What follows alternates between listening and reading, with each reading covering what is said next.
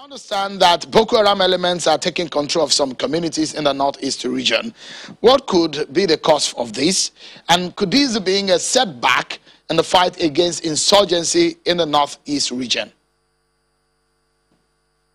Not really, but there are some communities normally when the insurgents, um, you know, attack, and they hold on to it because of the uh, number, insufficient number of soldiers we have on ground, like the experience we had in Damasak, uh, and the same experience that we had in Gaidam recently, the same thing that happened in Minok, and uh, even in uh, Wulgo, where the soldiers, or even in Dikwa recently, the soldiers will have to withdraw tactically and come back with reinforcement, and normally they normally succeed.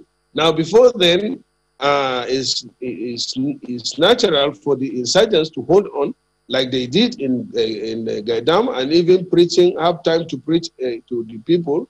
And they, once they have infiltrated the, the community, uh, then the Air Force is uh, incapacitated because they can't bomb anywhere. You know, they, they, will have collateral damage. But it is not like they hold on to a particular place permanently. No, uh, this, are, this is an insurgency where they do hit and run, and sometimes they do hit with a purpose.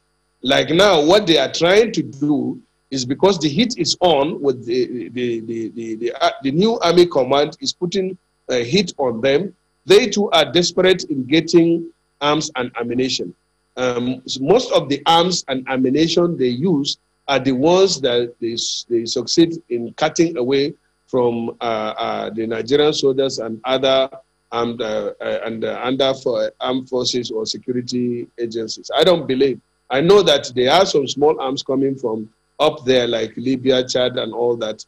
But most, the bulk of their uh, the, the, the, equipments they use are the ones that they succeed in stealing from uh, the, our armed forces.